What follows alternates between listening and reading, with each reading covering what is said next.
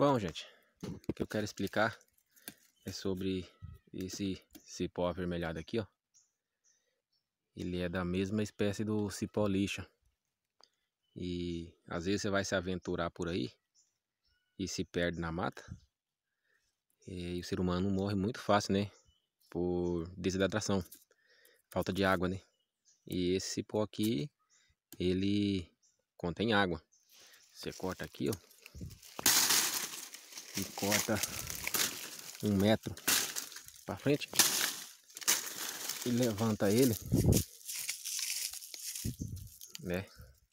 Corta pé e ponta, levanta ele e é só aguardar um tempinho que a água vai sair. Olha lá, ó.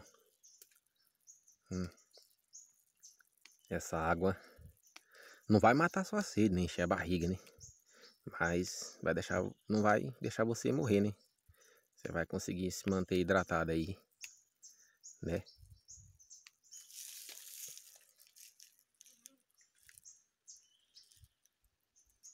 E experimentei ele aqui.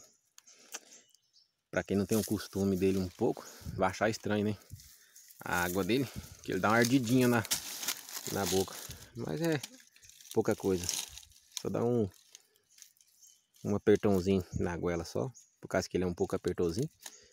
Mas é isso aí.